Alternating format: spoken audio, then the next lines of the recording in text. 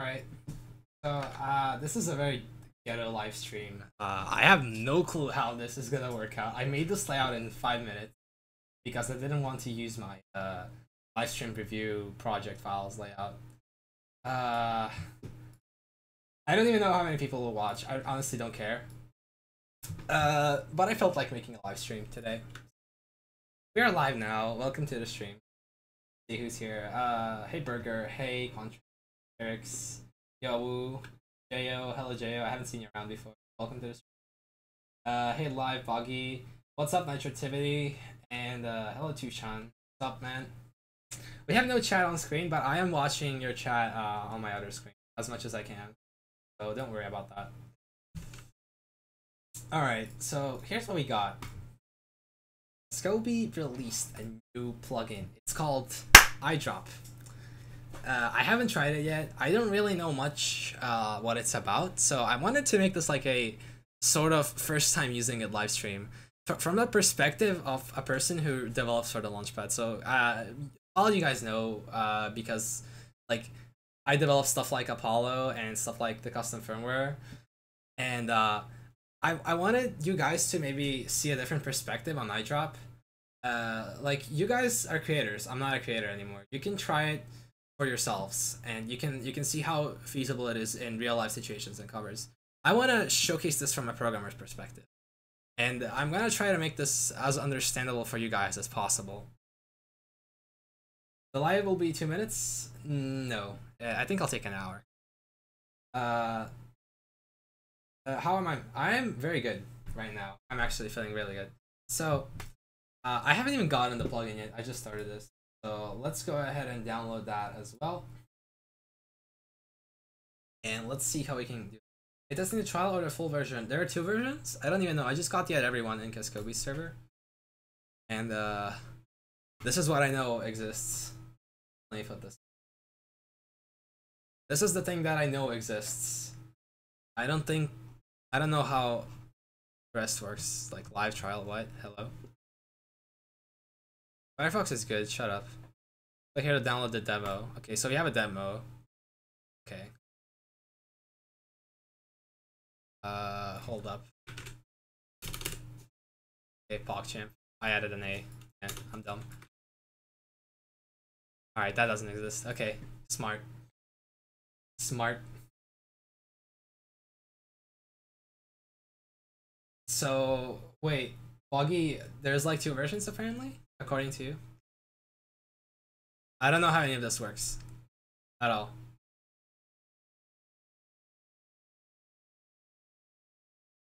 Can you tell me about the two versions? Like, what are the differences? Okay, what are the differences between them? And which one am I getting right now?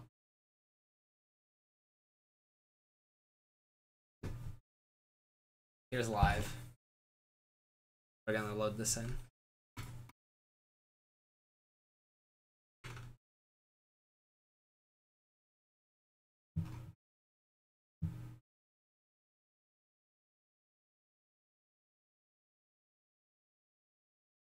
One will get mod. Stop it. That needs to become a sponsor. What is a sponsor? Is pay with all features? Oh. Oh no, don't worry. We're, we're, we're using the full version. Don't worry about it. We're gonna be using the full version. Probably. Depending on uh, the way Kaskobi wrote it. Okay, you get the full version. Okay, depending on how he wrote the software, we, we might be using the full version. Let's see. Alright, this is uh very bad right now actually. This this font is way too small. I'm assuming that he uses uh is Ableton at like a zoomed size, so now it looks good for him. Yeah. Uh, most people use 100%, so this doesn't look. Right, click here to get the full. Oh, right, I see. So wait, what does the demo even do then? What do you even have? Oh god, why would you use it like this? Oh.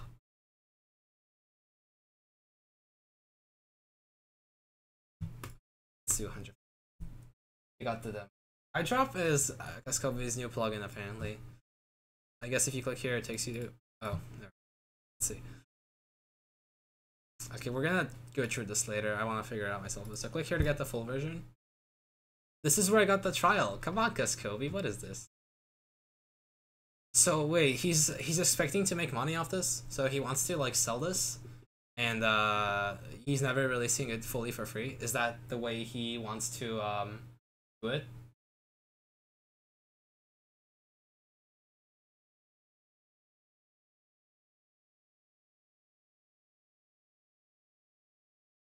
Buggy, if you know about what what his like sort of let's say business plan is. Okay, so all right.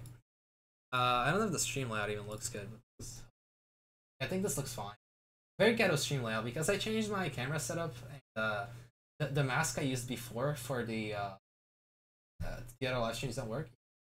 This is what I used for the old live streams. And uh, while this looks okay, if you do it like this, I, I have to adjust this. I also have to this a little bit up. Yeah, then it looks nice. Thing is, sort of. Thing is though, um, the mask doesn't work because Fed further away. So I'm using the simple. And my task was just What's this. So yeah, layout looks okay. Uh, waiting for cast to join. Okay, let me try this out.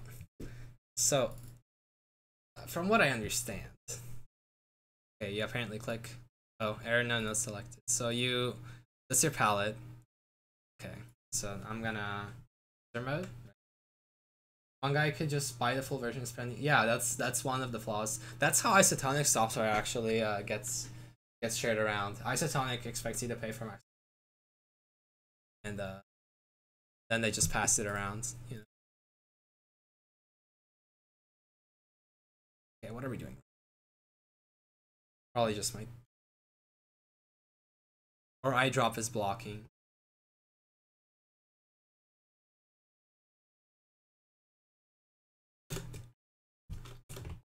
Hello, your plugin doesn't work.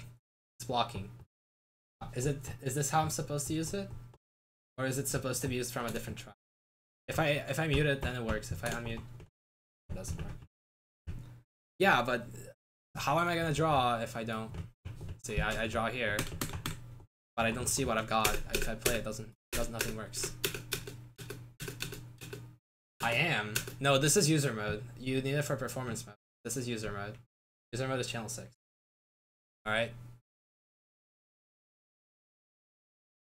Okay, select them, click call. Okay, I see that that part lit up. I still don't get output though. I have a beta? Uh, okay, maybe later.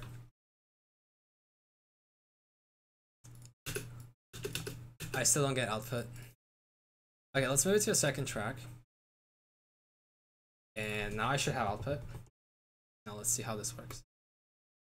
Okay, now this seems to work okay. Except, oh, ah, yeah, now it seems to. Okay, I'll try performance mode.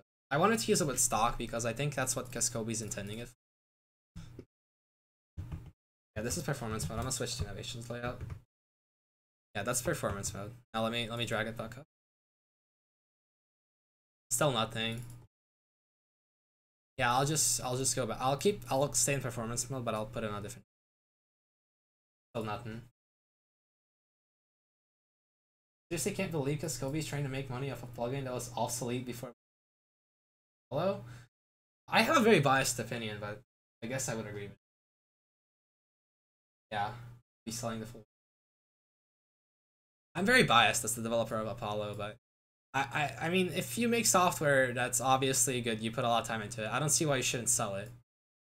Like, I could have sold Apollo easily if I wanted.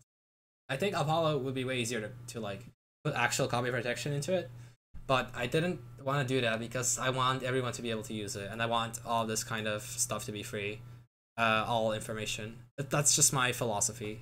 Uh, like stuff that is freely accessible because uh, everything I used to write Apollo, everything was freely accessible. I didn't have to pay for any tutorials or have to pay an innovation for any extra features. everything was freely available for me, and I want to keep it freely available. Make a track with just EyeDrop, then make a second MIDI track for just lights, then make the EyeDrop MIDI track. Oh wait, hold. Okay. Okay, I have that.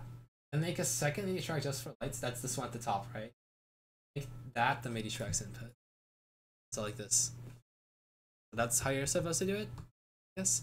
And then what do I arm? I arm this one, right? Which one am I supposed to arm? You give everything away for free. Good luck in making a living. Like right now, I I live with my parents, so I can afford that. I can afford uh putting this out for free. Uh, but I, I I yeah exactly Quant. I don't I don't want to make a living. Better. I drop track as in and lights as are. So now if I edit. Hello?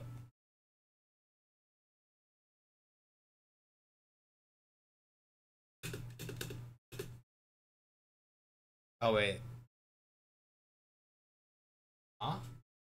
Well, yeah, also the idea of just lights.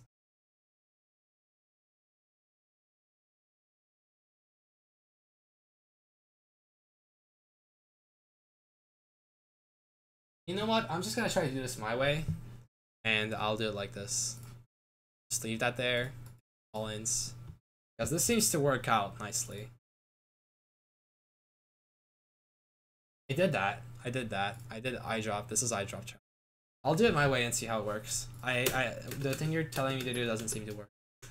So the way you're supposed to launch a login I don't know that yet. Andy, let's not jump to conclusions. I don't want this backseated. I want to try it out for myself, see what it can do, and then figure out what my review is. Don't bias my review before I even start a review. Hey, Alexi. Uh, surprise live stream. I didn't really plan this. I just I also have nine plus pings on Discord, which I'm not gonna check before I. I'll just check who they're from. Yeah, I'm not checking this. Uh, so let's check this out. Uh, let's make a light effect, like a generic ass one like this. So this is how, so from what I understand, you make your light effect like you would normally, right? And then you use eyedrop to apply so, sort of like effect to it. That seems to be what it looks like because I only have access to this feature. And for now, it seems like you can just like select. What did I do? So let's make this a bit faster. Alright, let's use this. You have 10 things. Fuck you, vlog. Welcome to the stream, vlog. As you haven't started, I'm actually just starting right now. So, uh, now I get to like, I guess pick a color. Okay, now that part's blue. This isn't very nice though. You still have to select the MIDI It's like, sort of like that. And all it does is really just change this. You could just get the number. I guess it's nice that you know what the color is though. But wait, there's something I don't like about this. Hold up. It looks odd. This word looks odd. Wait. It's good. Never mind, I'm just imagining things. No, there's... Look at this. Hang on.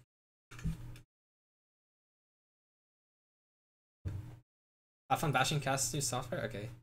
This looks so weird. Look at this. There's like a small gap here and then there's this large gap. Can you see this? Such a difference. It's just like, I mean, it's not that big of a flaw, but it's messing with me. Oh god. I drop.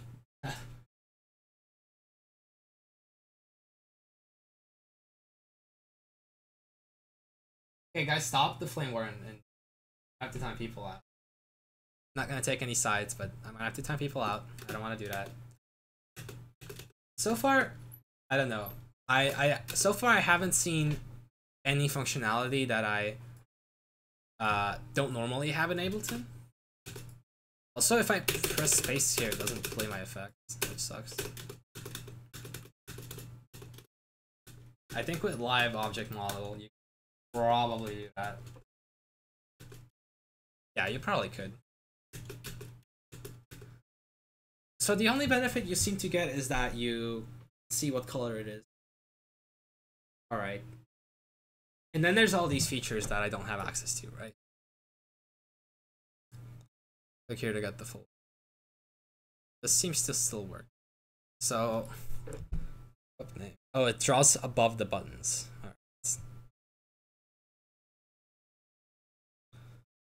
Set velocity zero to what? Oh, while in draw mode. Is that something I need? Is that this? Okay, so one one very nice uh, benefit probably would be to have like a launchpad grid and then allow you to do a freeform selection on the grid. So like, make a rectangle like this, sort of, and then select that rectangle. Because here, you still have to make sense of these MIDI notes, which make no sense. This piano roll doesn't map nicely, as you can see with the colors. This piano roll does not map nicely to the launchpad at all. You still have to kind of remember where the notes are in order to change the color. It's not really that nice.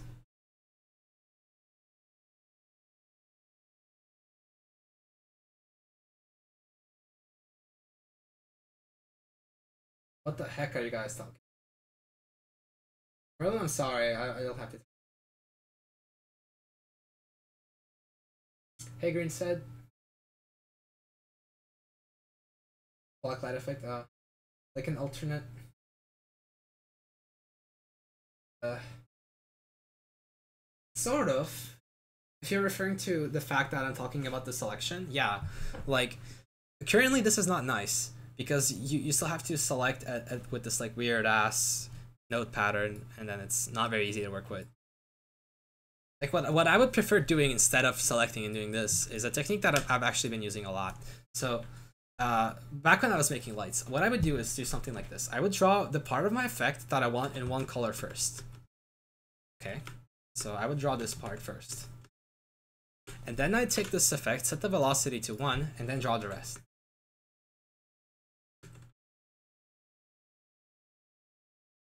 And now I have uh, the, the, the one color in 127 and the other one to 1. And now I can set whichever one I want to whichever color. Obviously I picked the color, but now I'm using eyedrop for This is how I do it, and not mess with figuring out that this is that part. That's what I would do it, like if I were doing this. So there definitely needs to be an easier way to select the notes, but the, the problem with that is if you make a sort of 2D grid like the Launchpad has, uh, then you run into a problem. Then you've used the two dimensions to display the buttons, and you you can't display time anymore unless you either have like a frame list. So unless you dump it down to frames, but then you can't do stuff like this anymore. You can't do stuff like that anymore if you dump it down to frames. Or you have to use the third dimension uh, to basically like expand over time. That makes it really tricky to use UI wise, 3D, because the screen is a flat 2D and it's also hard to see what you're doing. So again, this there's really no nice solution for this at all. Uh, most of the time, I'd actually not even change the colors here. What I would do is leave it to 127 and 1, and then later, because I use Iris, uh, which generates gradients for me uh, in the chain, uh, what I what I do is I would have a velocity filter MIDI effect track, and I'd select this part and apply one iris to it, and I'd select this part with the velocity and apply a different iris to it. That's what I would do. And I think that makes for a better workflow than this right now. Personal opinion. Have to a nice stream. How good? Oh, it's actually evening right now. It's uh, 11. Uh, thanks for thanks for sticking around. Catch you later. Well, the fur version we need to pay. Apparently, yeah. All right. So hang on, is that it that I can get from the demo? That's it, I guess. So he gets you to try it, and then he forces you to pay for it, right? Alright. Now, now that I've figured out how to use this, I still don't think it's very optimal. I think the method I used to use for MIDI lights is more optimal. I mean, it's still nice to see like that there's some kind of innovation or, okay, perhaps attempt at innovation uh, going on in, in Ableton. Uh, but so far, this doesn't seem too great to me. Okay, let's look at this from a programmer's perspective. It's time to load up Max Editor. It's time to load up Max for Live. Now, most of this will not make sense to you guys at all. Uh, but as I as I explore the the Max code, I'm going to try to at least tell you guys what I'm looking at and what we're what we're doing here and what's going on. Unfreeze. Okay, this is the UI. This is this is actually the it's called the presentation and that's basically the UI as you see it here on the device. And it's also made of max objects. So these are max objects. I place them just like I do in code. Uh, except I can I can design like how large the device is and where do I put the stuffs. Uh, and yeah. So this is basically how the, the underlying code is presented to you. And now we get into the underlying code. We do that by clicking here. And oh boy, I don't think I'm ready for this. Actually, you probably couldn't see that because of my... Yeah, you can see. Right, this is where you design your objects. So this is how you design the UI. You can size things, place them around and change the width, etc. Let me bring this back up. Actually, I'll temporarily remove the launchpad. I don't think. I'll... Yeah, uh, camera off. Camera's going off. All right. I don't. I don't know if I'm ready, but let's switch to the code. Oh, that's it. All right. This looks like just it's just like a simple wrapper. So just the UI elements, because there's nothing really on the main screen. And then there's a sub patch, which is basically like a sub program. So yeah, you have this main max program that lies inside of this, and then when you click launch EyeDrop and that opens up the big window, that's called a sub patcher or sub program, sort of like a child process. I guess you could relate it to that. And then that's a separate uh, max uh, file and code of its own. So it's just a little wrapper that opens up that if we want. So it's called production paneling. And these are all the assets as you can see and they're arranged nicely here. Let's open this up and now we have access to EyeDrop. Now we're gonna look at what's inside of that. So I'm, I don't need this anymore, but I still have to keep it open. So I'm just gonna minimize it and hope it doesn't, yeah, I have to keep it open. So I'll just put on either screen, get in the way. And now we're looking at this EyeDrop thingy. So now you can see that he locked off the windows. I did this for Retina as well. But since this is Max for Live's editor, you can still get access to the toolbars here. If you get access to the toolbars, you can unlock it and display the code. And now, oh my god, this looks like a mess. I'm not happy about this already. Unlock. So he connected this already to these. Uh.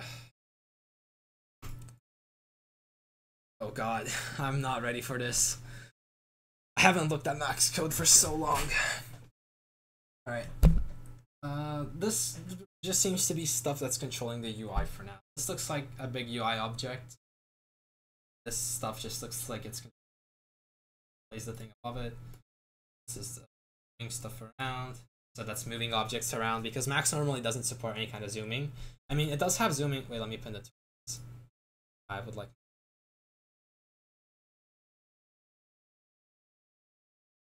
Here and uh, so you can zoom here, but you, normally you don't get access to any kind of zoom like this in Max for Live. So if you're if you have a device, you don't get access to it. So he probably had to write like some custom routine. If we look at this JavaScript script made by Pedro Santos in 2017, it looks like it um, sort of. I don't know. Oh, let's update Wraith.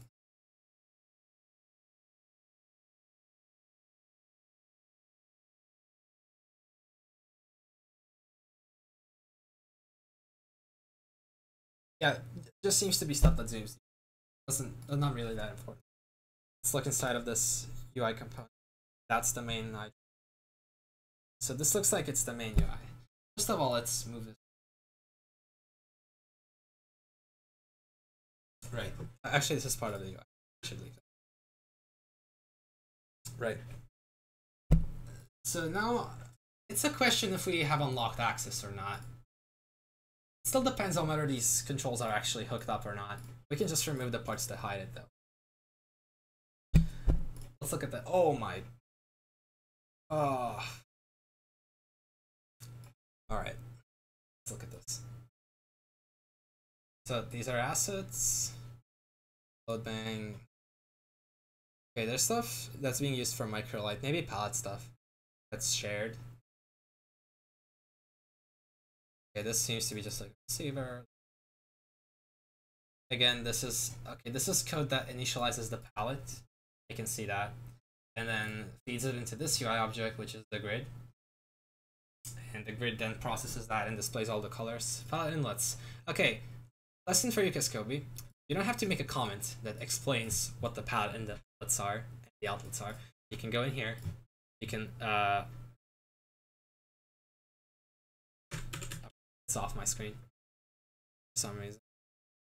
Yeah, I'll use Task Manager.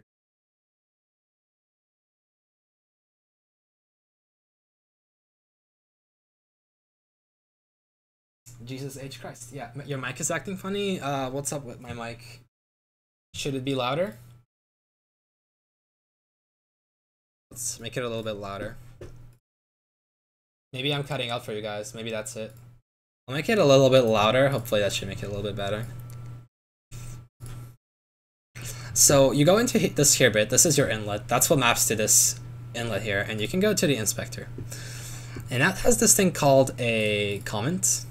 And if you add new color data here, uh, it's actually going to show up when you hover over that. So now it says new color data. And now for the second one, we can do bang 127. And you don't have to keep that comment there. If you're wondering what something does, you can just hover over it. That's one improvement you can make. Like, right out of the bat, just to improve code readability. Oh, okay, now this should be better. Uh, if you guys need me to re-explain re anything, just, like, let me know. Uh, I'm still currently trying to make sense of this, so let's see.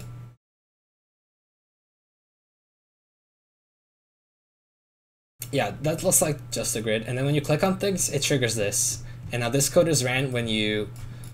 And then this is a mess. You can't see what the code's doing on first glance. And I guess this is a mess for him to maintain as well. Because when you write code like this, it's not only is it hard to figure out what it does, it's also hard for the original developer to figure out what it does.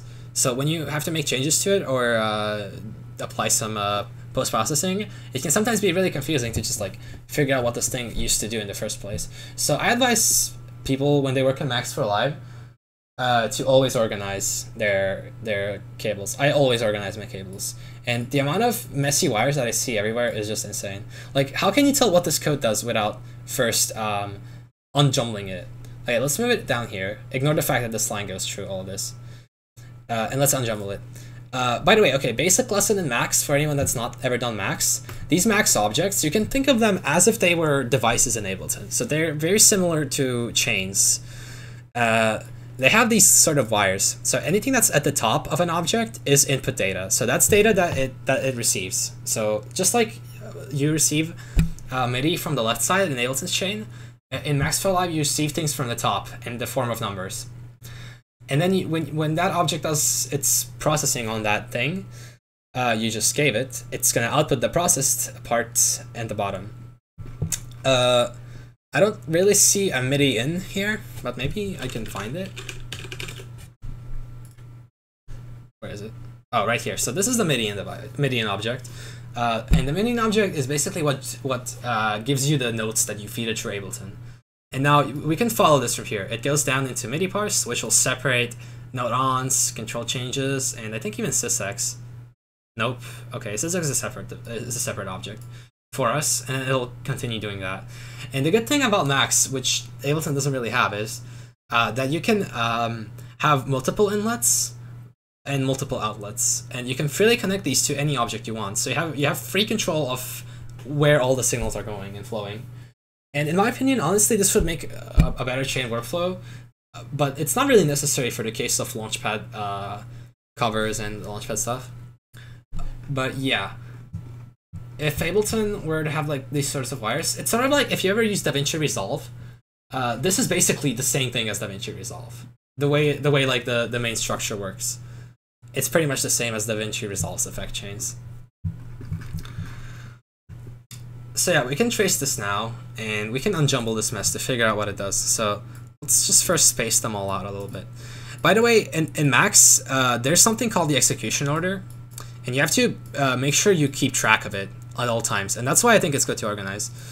So in Max, uh, all of the like cables they execute right to left. So when I output uh, the data from this threshold to object, the first device that receives it, or object, I keep saying device now for, for whatever reason, but the first object that receives it is going to be the ZL clear here. And then the next one that's going to receive that is the ZL length, because that's where the wires go. So the position of the receiving object, it goes right to left. So this one, then this one, then this one, and then this one. If you want to override that, you can use a trigger object, which is a T, and then III for whatever you want, so how many stuff you need. And then they're fire in this order, and then you can precisely hook them up like this if you want to. So now you're sure that this one will, will fire first into this one, and then this one will fire second into this one, and you've changed the execution order. I like to use triggers wherever possible because it makes it clear and concise. You can also not use them, but then you have to make sure the positioning is correct. And the bug in Apollo, uh, where the connector didn't work in 1.0.5, I believe, or 6, actually 5, yeah, was caused because I messed up the execution order. So I didn't write any bad code, I just messed up the order it's executed in. So I, let's say I put this here, and now it, do it does something that's different. It does this first, and then at the end it does this. And that's obviously something you don't want. So what you want to do is you want to unjubble all these wires, so you make sure that the code is readable. And we can just set that some something like this. Now, I'm not really caring for the execution order here, but I'll show you how much more readable it is if you actually care.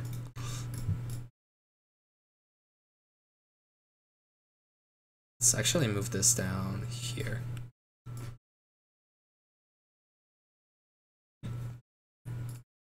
What is this cable? Okay. Nice.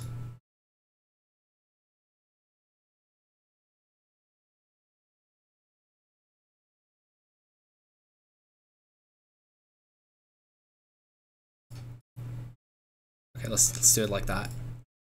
Uh, align, line, and align, and align. Okay.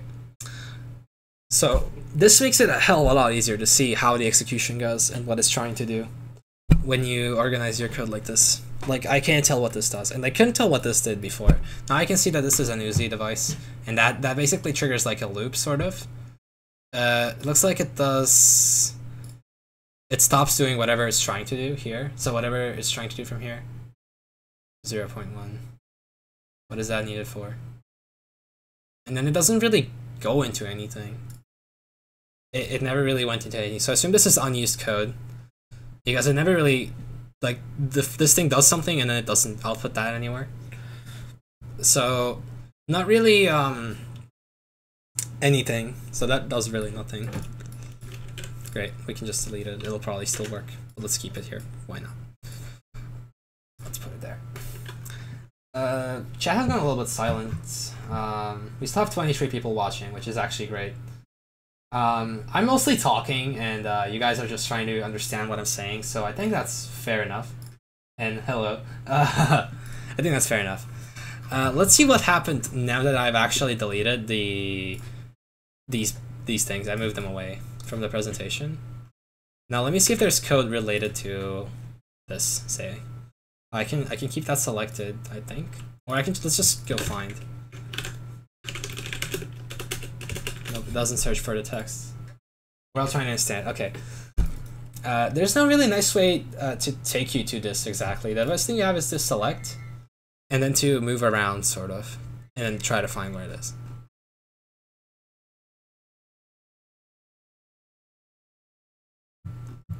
But it looks like there's no code relating to that. I think he just stripped out all the code that relates to that. And that's actually decentish protection for, for from getting the live version. Oh yeah, right here. This is all empty. This probably used to have code here. That was just deleted. Yeah, there was probably a bunch of code here coming out from this and coming out from this. That was deleted. It makes sense why these are all on the side here. So that makes sense. Like, let's save this now. Uh, let's close that and let's close this. Let's get back into the. Oh, it's on my other screen. Let's freeze this, save it, and now. Oh fuck. Okay. Get out. And now we have access to this. Now you can click this, and I don't know if it does anything. Yeah, the code is all stripped out. It really does nothing. So Yeah, not even the color updates. So good one on for Kaskobi. Um, good one on Kaskobi for doing this, so that you actually can't. This still toggles, but I don't think it does anything still. Load, this doesn't do anything either. So, yeah, just the UI is kept here and the code is actually stripped out. Alright. So, you do this. Nope, doesn't do anything. Doesn't do anything really. None of that does anything. Yep. Alright, so I think that's pretty much all we can do with this but okay, let's at least explore the UI and see what it would have done. Okay, so now I'm gonna start making comparisons to my plugins with with the assumption that um, with the assumption that we can do this with my plugins. If we can't, that's props to Kaskobi. And I, I probably don't know what most of this stuff does, so let's let's check out what, what all this can do. So apart from the color picker, which I don't think is a very useful thing. I mean, it's certainly an improvement, but I don't think it's improved to the point where I'd actually use it. Uh, I still prefer uh, drawing my gradients in Iris because this seems to be capped at 8. What if I wanted more than 8? And also, what if I wanted, like, um, what if I wanted it to, like, loop? Iris can do loop. This thing doesn't seem it can do loop and it and it couldn't because it's a MIDI clip. It's supposed to be static. So, as far as the color picker goes, for me personally, no practical use. I can see that some people who don't particularly like using my plugins, I can see that those people can get some sort of benefit out of this. Uh, but personally, I don't think I'd ever use this. Uh, like, I'm not talking about the whole thing, about just about the color picker. I don't think I would use it. Next, these buttons, I think these obviously mean rotating it around. So this looks like rotate counterclockwise, this is rotate clockwise, and this is, I guess, flip horizontally and flip vertically. I mean, dude, I, I, I have plugins for this since like one and a half year ago. What have you been doing, Kaskobi? I, I can do this for a long time already. Easy, just drop a flip device and you're done. You can do it. You, you can make the MIDI clip and then you just rotate it and you're done. So this is not not anything new. This is something I can do already. Pinching is something that's that I haven't used anywhere, and I think that's the part where he like starts an effect fast but then ends it really slowly, and uh, that's uh, something I don't I didn't do ever, and I don't do. So, uh, yeah, I don't have that at all. And uh, if you, if there's an easy way to do that now, that's great.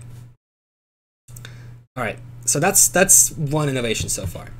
And personally, I would maybe use this just for the pinch at some points. Why does the stream lag so much? Uh, it's on your answer. I haven't dropped a single frame so far. Sorry. Sorry, Factor. Uh, about the gradients, I mean, this is obviously inferior to Iris. Like, do I even have to point it out?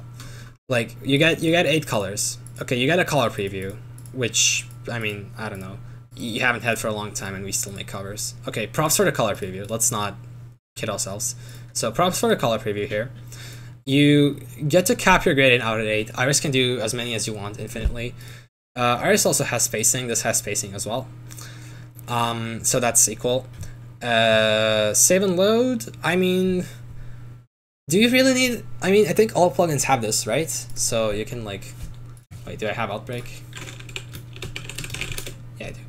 Alright, so, I mean, I'm pretty sure that with any device, you can just come here and click the save button. And now iris preset 1. And that's saved down up here now, and now you can drag it in anytime. And it saves the gradients. So this is, again, nothing new. This is something that people could do with actually any Max for Live device, not just Iris. Any Max for Live device could do this, since Ableton exists. So that's nothing new.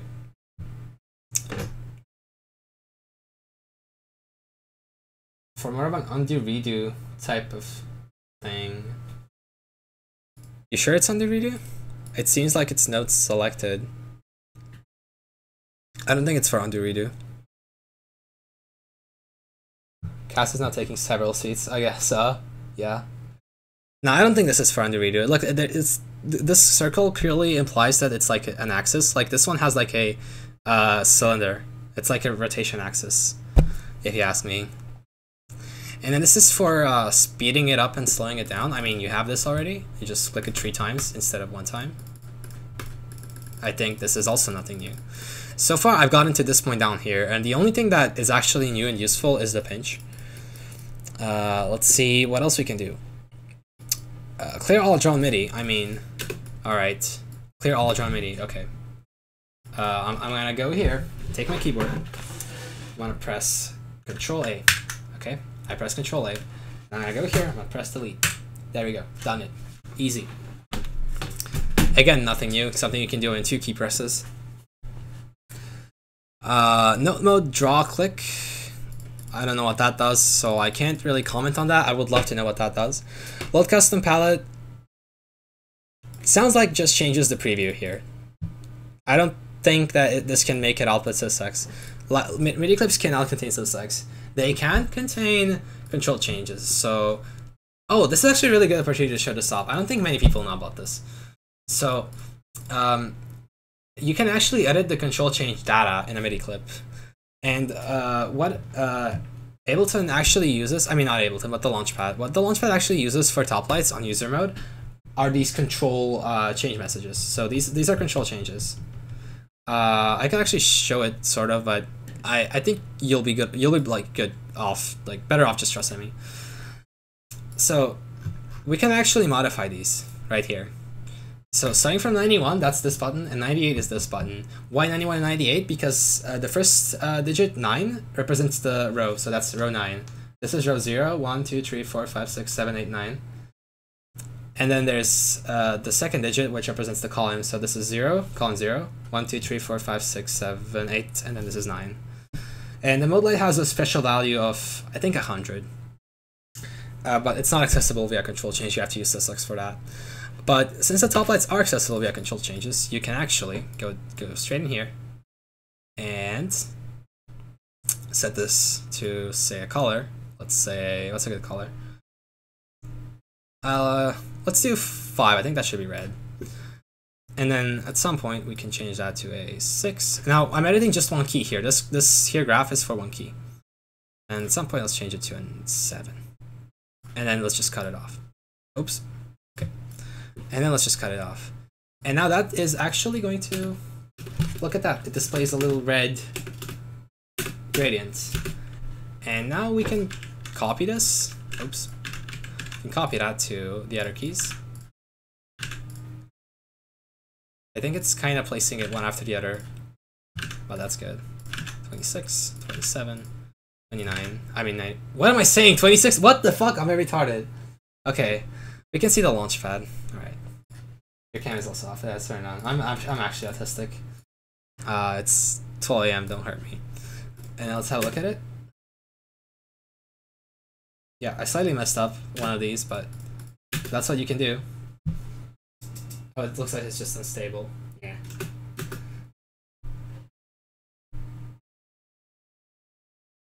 But yeah, this is one thing that's possible to do. So, what do you mean launchpad is gone? It's not, it's right there.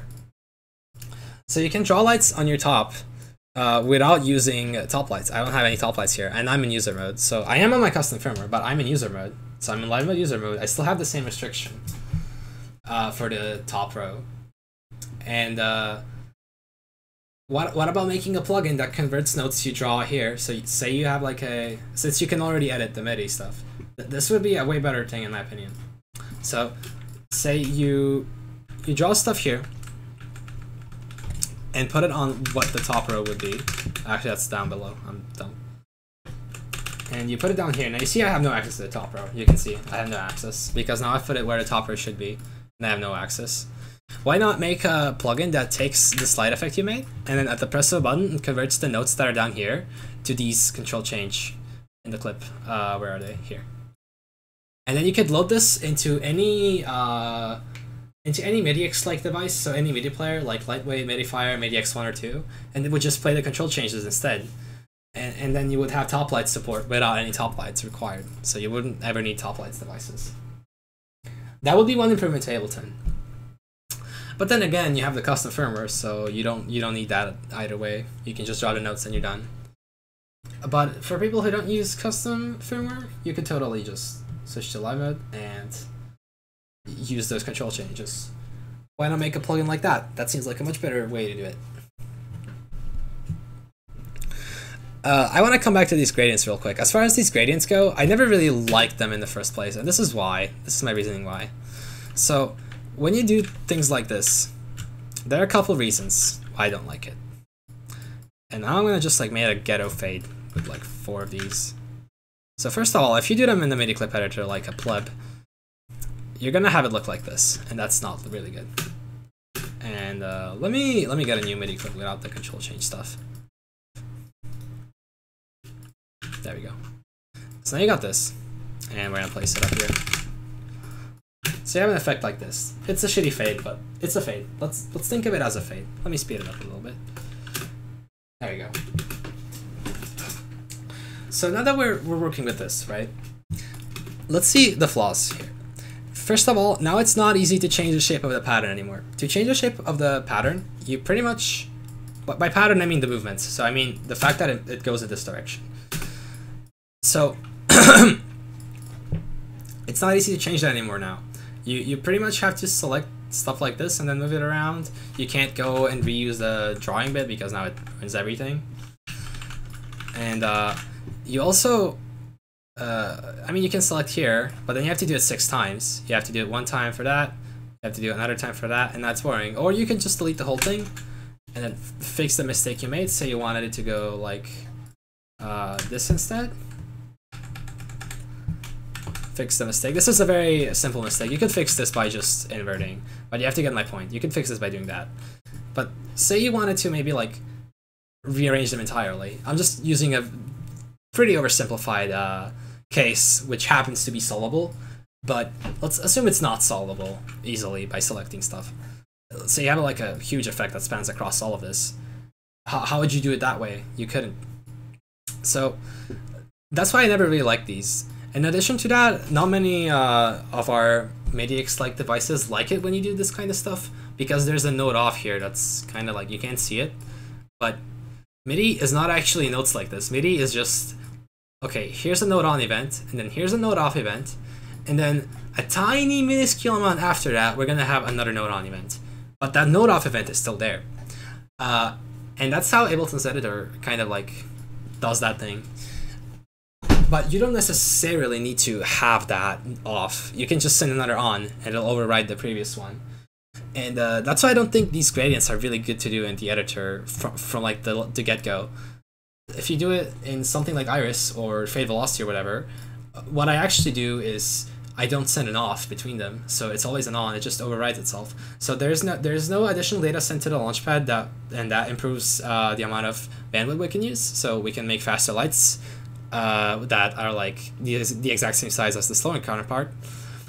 And also, uh, we don't get the chance to see the gap. Sometimes when you're when, when you like lag out, you can kind of see those note off gaps sometimes. Uh, but with this, you don't get the chance to see those. You just see continuous color. So there are multiple downsides to doing it this way. And what this gradient, I think, does is just turns this here into this basically. And I don't think that's nice at all.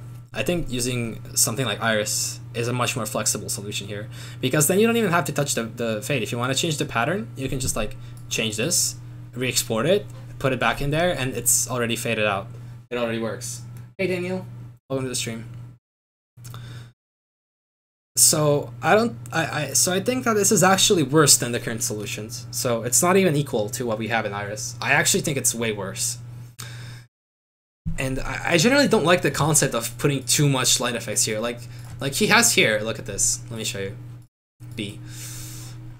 Like, like in this picture, I don't know if this is like a legit light show that he uses, but um, this here is too much. Like, uh, if Kaskobi has a problem with the MIDI editor because it doesn't work, it's clunky. I, I've seen a couple of his videos that he says it's like millions of notes and it's really hard and stuff.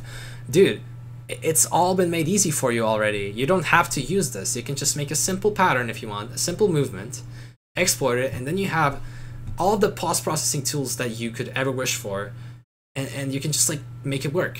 You can just it's as simple as that. You can just make it work with, with your original movement idea. And if you want to change that idea and stuff, you don't have to destroy the whole thing. You can just change that one bit you want, and then and then the rest just works automatically. That's the kind of thing that I I, I can't understand why Kaskobi does. And I, I'm, I'm sure it's not just Kaskobi, I'm sure it's more people in general. I feel like it's a lot simpler to just like have a device here that does the fading for you. So instead of managing it here, not only is it easier to work with, it allows for faster stuff, and it's cleaner in general. Alright, enough about the gradient rant. I hope you can see my perspective on this right now. The code doesn't look too good. From the parts that he's left inside, I don't like them. They're very messy, hard to read unless you uh, unscramble it. But it's not the worst that I've seen. So I'm, uh, I don't know. I, I don't really give a plus on that, but I don't really give a minus on that either. If you're ever curious, you should open up Exege's MIDI extension. Holy fuck, that thing is unreadable. That thing is like actually unreadable.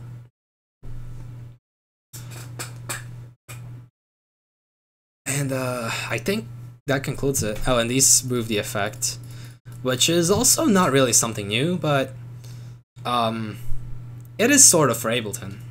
For Ableton, it is new. You, it would have to delete this whole thing and then redraw it, but moved one to the right because of the shitty drum rack. Uh, but you don't have to do that anymore with Apollo. You can just use uh, the move device to move it on the XY grid.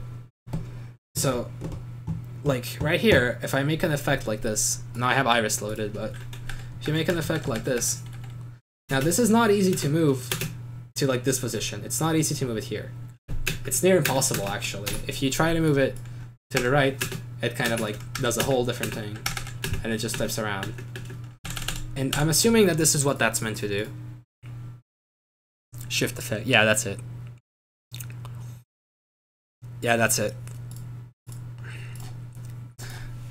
So, well, this is new for Ableton, and I see it sort of being useful.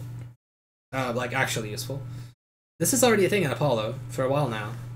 It has been one of the most, well, the, like, one of the actually first things I've, I've done in Apollo is that I don't use the drum rack layout, I use the XY grid, and thus you can actually move stuff normally across. I would pay to see Matt and Cass in a Discord call. oh well. So we got that. Uh, let me show you actually. I actually probably have it down. Oh, uh, there we go. I'm gonna use 1.0.6 and I'm gonna close Ableton because it'll mess with me. Oh god, is my desktop hidden or not? Yes, it is. Okay. Crisis averted. you don't want to see my desktop. Oh, I don't even use my own program. Yay. Okay, so, uh, yes, he's, yeah, it's called, his name is Kaskobi, you can say it. And, uh, yeah, he's, that's the demo version that I've got, with only, like, a small amount of functionality, and he's uh, planning to sell the full version. It's not complete yet, according to people here. really the only thing I can see people actually using are pinch and shift. Uh, pinch is something entirely new, and shift is something that already exists in Apollo. So let's say there's like one and a half thing that people would actually use. Then it's because he's a sellout. Okay, well that's a, that's a bit harsh. I'm obviously memeing there, but yeah, you have to pay for the full version. So, uh, talking about this, uh, I'm gonna switch to using this MIDI 2 port, so that's my live port. Okay, so I'm having lights from Apollo now. Let me check if I'm in the correct layout real quick. Drum rack. If I'm still in user mode, that should be correct. Okay. Uh, so now I'm to show you. I'm to make a pattern. And we're to make it... Actually, let's use the launchpad for it. Oops, need to turn on the gestures.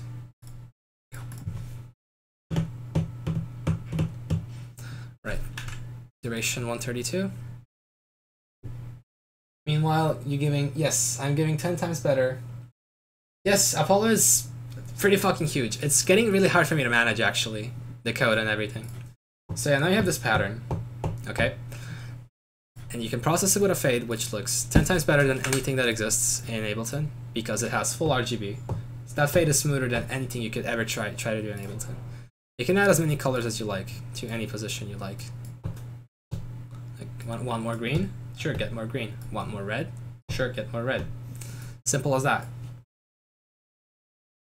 Let's keep this fade. I, I don't think it's particularly great, but let's keep it. Uh, so what I was trying to show is that you can now move this effect easily. So you take this after the pattern has been uh, like after the pattern is playing, you can take the move device, you can move this to the right, and there you go. It moves without that weird weird thingy. And you can also move it like this. So in any direction. Then you can also wrap it around. So if you like, sort of, if you like exit the grid, you can go back to the other side of the grid. I'm pretty. I'm not, I don't know if Kaskobi's thing does that. I can't know. Or if you don't like that, you can also use this copy, which is like movement generator. Interpolate. Let's put it to like 132. And now let's move it down here. Check this out. Whoosh. You get a you get an entirely new effect that maybe you would never have thought of before. Maybe you would never have tried it. Just by playing around with the uh, movements here. If we make it faster, I bet it'll look a lot better. Let's it a little bit faster. There you go. I can, I can totally see this being used as an effect. Maybe not with these fade colors, but I can totally see this being an effect. And this took, like, no time to make at all.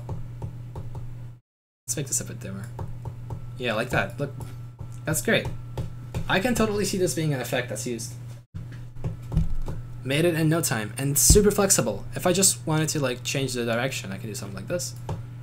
It's a whole new effect now. Go to any other direction, Look at that. You could now, now what you could do with this, you could you have infinite room to experiment with this. Now you wanna you can like filter it so it doesn't go on the side. And it's okay to waste uh, CPU like this because it lets you be creative. So now you have this movement. Let's use transform flip. Actually, let's use let's use rotate, not flip. Let's just transform rotate 180 bypass, and now you have this effect. And you want to change the fade? Okay. Let's do it like that. I pick any color I want. There's no remembering numbers or looking for where it is in the grid. It's a standard color picker that you've been using in image editing since forever. So it's all standardized. And you can make any sort of effect you like. Let's rotate this one more time, 90 degrees. There you go, that's another new effect. Looks pretty good. So I went from that little uh, blocky looking sweep to this weird spinner effect in like 30 seconds and I've changed the color and everything. It, it really lets you have as much freedom as you want with the post processing and everything. Really, really flexible. And I think um, comparing this to EyeDrop is a little bit unfair, sort of, because they, they're not really trying to achieve the same thing, but at the same time, they're kind of about the same thing. Like, they're, they're both about creating your light effect start to finish. You start with drawing your notes and you finish it up with EyeDrop. Here, you also start in Apollo and finished up in Apollo. And um, it just works, sort of, like that. So, I don't really know what to say more than this. EyeDrop is really not nothing new apart from the pincher stuff. I don't really know what to say about it. I don't, I don't, I, I mean, it's probably gonna start being widely used just because it's Kaskobi, but I really see no practical use to this. Meanwhile, here's Apollo. You have all of the power in the world you want. What is EyeDrop? Oh, hey, Vasky. EyeDrop is... I guess it's a competitor to Apollo at this point. I don't know. I can't tell if it's a competitor or not. You guys know better, because you're the guys using these stuff for real. You guys know if Apollo or EyeDrop are about the same thing for your creation process, and if they're actually competitors. You guys know better. Now, say I remove this key filter. There you go, now the sides are included as well. But that, that gives you more effect. Make it longer. Yeah. Let's make it more towards the red. Less red. Maybe dimmer. I, I think I just want full red. Yeah, looks pretty good. And this gives you infinite freedom, and it's super smooth. Ever wanted to show it off in a screen share? Now you can. Easy. You have you have everything you would ever want in Apollo. I've made everything work. Anything you imagine, you can do it. This whole live stream has been a massive advertisement for Apollo. Uh, not really. I mean, now that I think about it, I guess it I guess it ends up looking like that, but not my intended, not my intended uh, purpose for this live stream. I launched trial by accident. Okay. Uh, let me show you Vasky now that you're back here. Actually, you weren't even here uh, like in the first place. All right. Dream it, do it with Apollo. Yeah, pretty much. Hey, Clark. Uh, let me grab this thing again. Right. So, here's EyeDrop. You launch it here. It's still Max for Live, so it's a shitty language. Uh, but still better than Node.js, haha. Don't click off, please. And uh, you still get to draw your nodes the same uh, way you did before. Let me just set up the output.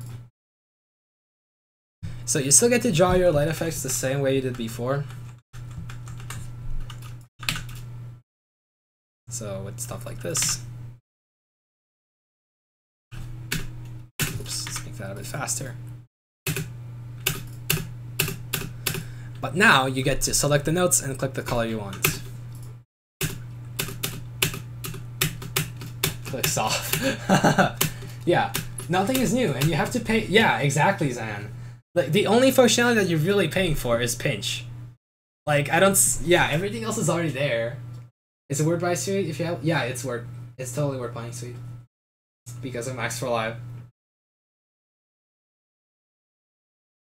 Yeah, you have to pay for it, dude. Okay, so I removed it, but but before this, this whole section down here below the below this thing, this whole segment was blacked out before I removed the the the thing that blacks it out, and it said uh, buy, please. That's what it said. Uh, but the buttons don't do anything, like, because um, the code has been removed behind them. But I removed the, the UI. So you're supposed to pay for this. And it's enough that one person pays for it and then leaks the AMXD file, and now now now everyone has access to it. And uh, yeah, you just get to pick pick the color. You can load a palette here if you want different colors, but it still doesn't actually change the colors. It just changes the preview.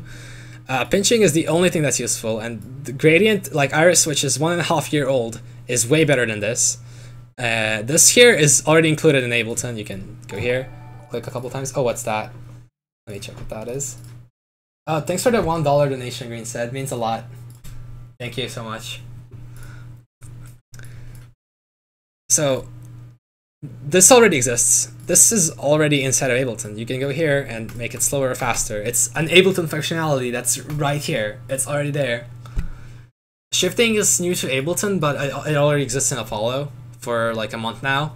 Apollo's been public for a month almost, and this already exists in Apollo. Uh, and yeah, that's it. This also exists since one and a half year ago. Flip device. And yeah. How much? Uh, I don't know how much. I was gonna sacrifice a few bucks to leak this, huh? Damn. Alright. That's another one dollar donation, thanks. Oh wait, you have messages. Okay, I didn't I didn't see your message the first time if there was one. Just another donate. Thank you for the donation. Yeah, not much more I can say about this. You're pretty much wasting five bucks if you buy this. And that concludes today's plugin review. Alright boys. I think I've said all that I have to say about EyeDrop. I really don't think there's anything else I can say. Yeah, it's a joke. I'm sorry, Kaskobi. Uh, you, you, you hyped this up a lot. I, I remember you... Uh, okay, I'm gonna take a, a, bite here. I remember you using this Discord Rich Presence and saying EyeDrop beta 1, 2, 3, and then there was like all these preview screenshots and everything. You hyped this up a fair amount. For what? for Pinch? Is that what you have it for? All of this is already existing in Ableton for free. I don't see why anybody would ever pay for this. From wasting five dollars and donating to Matt. Oh yeah, you can also support Apollo. So if you if if you think EyeDrop is crap, and if you think Apollo is better, you can totally support me on my Patreon, which is 100% dedicated to Apollo. So all the all the proceeds from here go into Apollo, which is right here. If you go there, you can support Apollo Studio directly. I, I put a lot of work into Apollo, like seriously. Like that's months of just eat, sleep, Apollo, repeat. Oh yes, another donation. Let's check that out. Shot donated one dollar. Just another donation. Thank you. Thank you so much for the donation. Cast note B. Amazing plug, proud of you. Thank you, Milky. And um in the end, uh I would actually be very sad to see this take off and uh, Apollo be left in the dust. Because I really don't think there's anything new here to see at all. Except for Pinch, of course. I'm, I'm, I'm giving props uh, and credit where due. Pinch, if it works the way it's explained, that I think that's pretty cool. And something that I should probably actually add to Apollo. I think I might have an issue for that already, but I'm not sure. But th- that might be something I would maybe expand Apollo with. Is it worth paying it? I mean, I wouldn't use this if it were free, so. Yeah, if this thing was free, I would not use it. So, I, I think that answers the question of whether if it's worth paying for. Laughing so much. Damn, bro. Damn. So, yeah. Uh, what do you guys think about it? I don't know. Have you guys got any take on this? Like, what are your thoughts and, uh, opinions, etc. I would like to if you if you like don't agree with anything I said, uh, we can talk about it right now.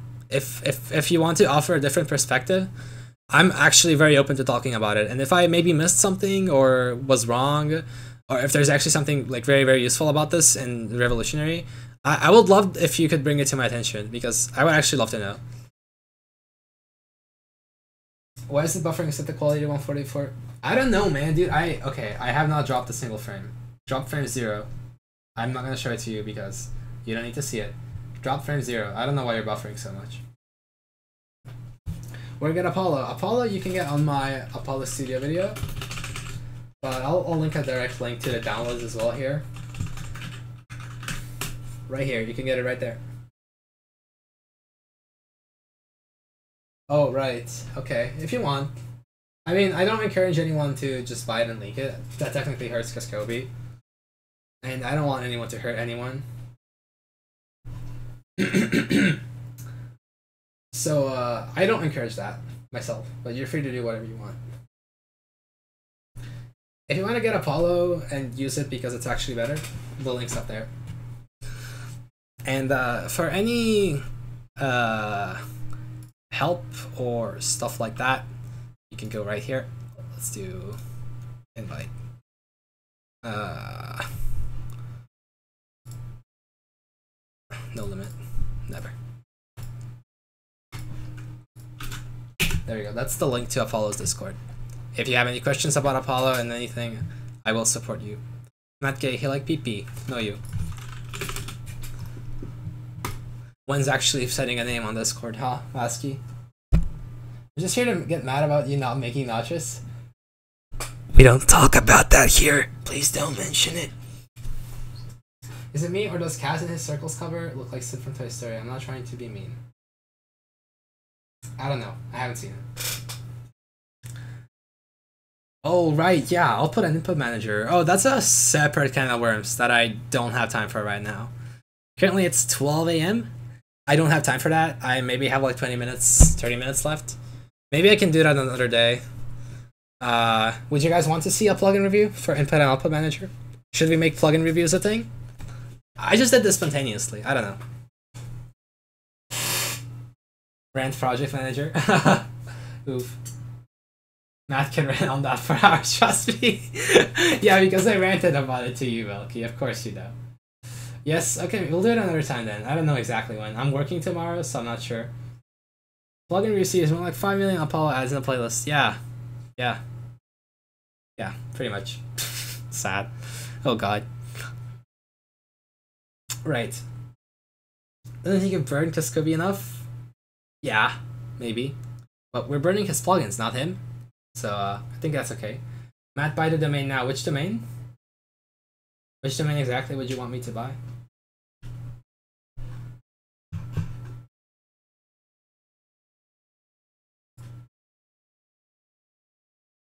apollo2.io? No, why would I?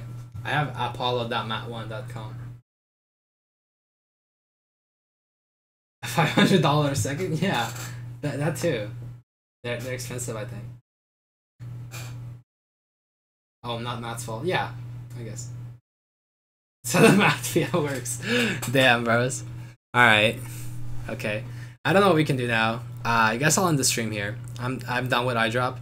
So one more time, final conclusion: it's useless, and if you pay for it, you're dumb. Uh, the only thing I can see it being useful for is the pincher mount. So yeah, props props to that uh, for Kaskobi. But it's it's again a very specific use for the pinching. Uh, it's not something you would use all the time. It's like a very specific use case. So yeah, props to the pinch. Everything else, what the hell, man. Apollo was blocked because of the harm. Yeah, it could technically. I don't. I don't sign it. I don't want to pay Microsoft four hundred bucks to sign it. And yeah, there there are also virtual launchpads. So you can you can you can work without a launchpad in Apollo. You can load the virtual thingy, and you don't have to actually have a launchpad. Or if your launchpad is just like away and you don't feel like getting it, you can work with the on-screen one. Perfect. White review echo. We can do that as well. We can do that as well. We can do that later. We can totally do that later. More details and allow. I'm not sure what you mean by that. Yeah, you don't necessarily need a launchpad. Imagine this in Electron. What, Apollo? I mean, uh, Apollo could have been an Electron, but guess what happened? You can make a light show without ever, ever have bought a lot. Yeah. Yeah, it's late, too, Sean. Yeah, it's pretty late. Damn it. It's late.